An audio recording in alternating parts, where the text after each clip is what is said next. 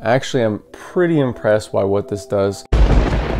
Hey, what's up guys, it's Josh here. Today I want to review this Calvin Klein Escape for Men. I've smelled a lot of Calvin Klein fragrances. They've always been a very general, likable smell, but I haven't really found one that's really wowed me or really one that I could recommend highly on my list. Could have sworn someone suggested that I pick up CK Escape for Men. So I'll go ahead and search my comments and see if someone did suggest this to me and I just decided to pull the trigger. This is actually a pretty old fragrance. I was actually surprised that I haven't heard of it or if I have smelled it, I don't remember that I have. I think think it came out in 1992. If not, I'll correct it down below. So there is a lot of notes to this fragrance, but overall, this fragrance is somewhat simple in my opinion. It's really not as complex as it sounds here, but the notes are melon, eucalyptus, mango, grapefruit, juniper, bergamot, sea notes, birch, fir, cypress, rosemary, sage, oak moss, vetiver, sandalwood, amber and patchouli. To me, I get this banana musk kind of smell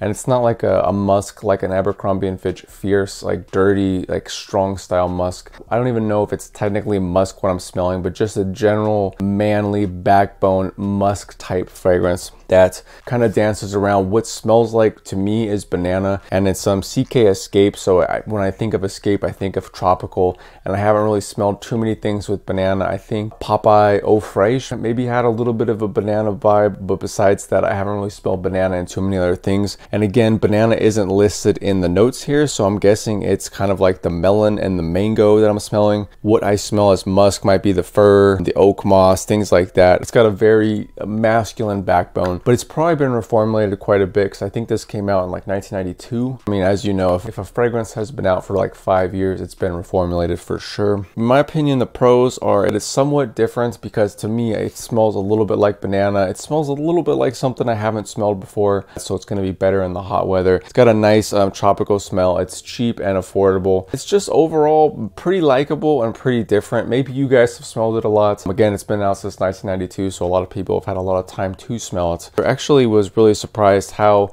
likable it is, how different it is, and I really like that it has kind of like a banana style musk because I don't really have anything with that tropical kind of smell in there. For the cons, it's a little bit simple and it has average longevity and projection, but maybe you could even say it's not as good in the winter. Besides that, it really doesn't have that many weaknesses. The projection's average and it is a tiny bit simple, but overall, I've been kind of impressed by what it does. And then also, I think I wore this, it was either in the, the high heat or the high cold, and it had um, what I smelled as more of a objecty sandalwood style vibe. It definitely had a little bit of a, another vibe besides the banana musk that I was smelling. I did smell a little bit of a robust sandalwood kind of smell, which I also did enjoy that I didn't get right off the bat. But overall, really not too much bad things to say about this. This is an average projector. And if it projected a little bit more, this actually might be in my list. And again, it's not a bad projector, but when I have so many good fragrances that project pretty strong and pretty high, little things like it having just okay, just slightly above average projection kind of knocks it down a little bit. But if I were to give this a smell rating, guys, I'd give this a solid eight. Actually, I'm pretty impressed by what this does. Like it has a little bit of a different kind of tropical smell. It doesn't really smell very cheap. It is kind of light and likable, but also when you get more into it, it does have a little complexity. Like I said, it did smell a little bit different when I think it was in the cold. It smelled like kind of this object-like sandalwood vibe that I didn't get any of the other times I was testing it. I tested this for about five days or so, but the smell I'd give it an eight out of 10. Likability, it's probably its strongest point is its likability. I'd give it an eight and a half out of 10. I like it. I think most people would like it. A lot of people I've talked to kind of like lighter smells and they don't want an over overpowering, super clone kind of smell. So this one is just lighter, easy to like, just overall likable, really good, 8.5. And then longevity and projection, I'd probably give this a 7 to a 7.5. It's right down the middle. To me, it doesn't seem bad, but it doesn't seem great either. But just overall right down the middle, 7 to a 7.5. I'm on the fence of whether I should recommend that you pull the trigger on this right now.